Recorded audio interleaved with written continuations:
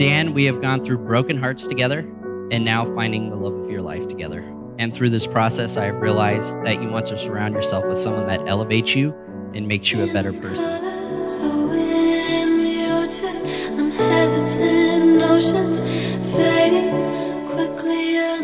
I met Jackie the day she was born. She was so cute. She had these fat little thighs. and then she grew up, and then she went off to college. And then she'd call me here and there in tears about something that happened. It's such a special relationship that we've always had that I am incredibly honored to be here. And I have never seen her so happy. There's so many things that I could say about my son.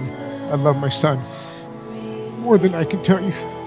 Tonight is about these two and an incredible journey that they've come to to get to this point. You have an open road in front of you, and it may not always be a smooth, straight, easy road but I know together your love will get you to the finish line.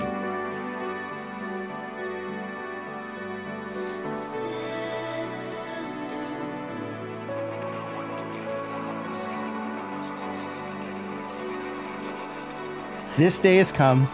You're standing here. I'm standing here.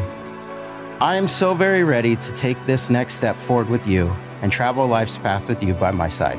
This year for us like for many others, has been especially trying.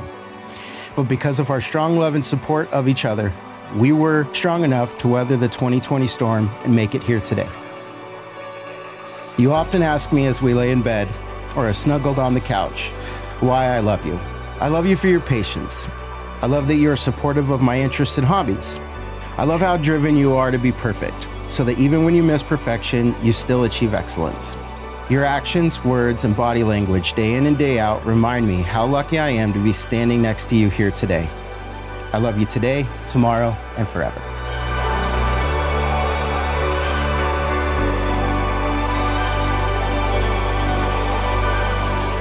I'm going to be very honest. I struggled writing this message to you. Not because I didn't have things to say. In fact, that was the problem. I had too much to say. Then finally, the thought that kept coming to my mind was the first time you talked about marriage. You said it wasn't a question of if we get married, but a question of when.